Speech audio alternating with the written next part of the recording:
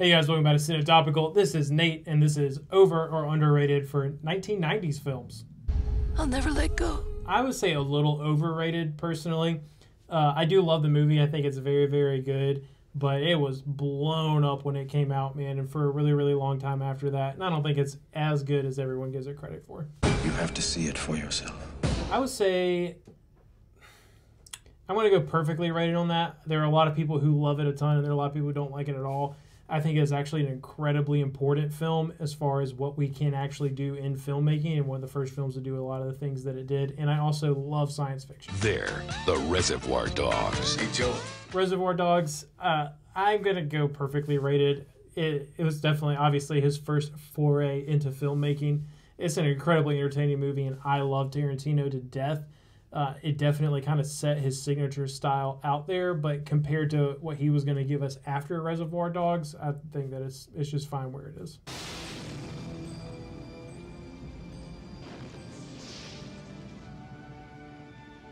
Uh, I think that movie's a little overrated.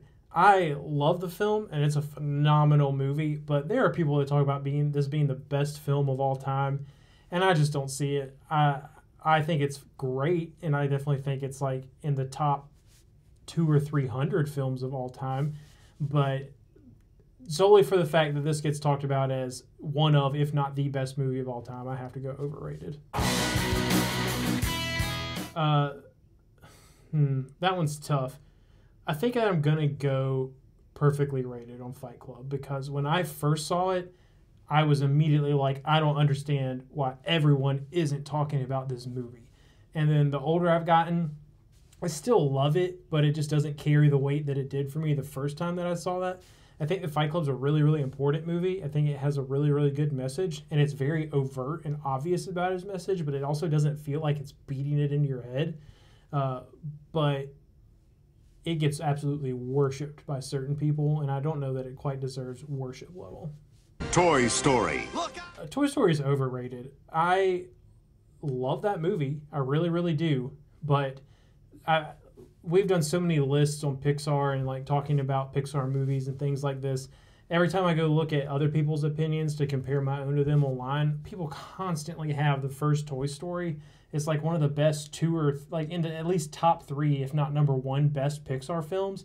And like I understand that it was their first. I understand that they were doing things that nobody else was doing, and things definitely get points for innovation. But compared to Pixar's other work, like Toy Story is very, very middle of the road.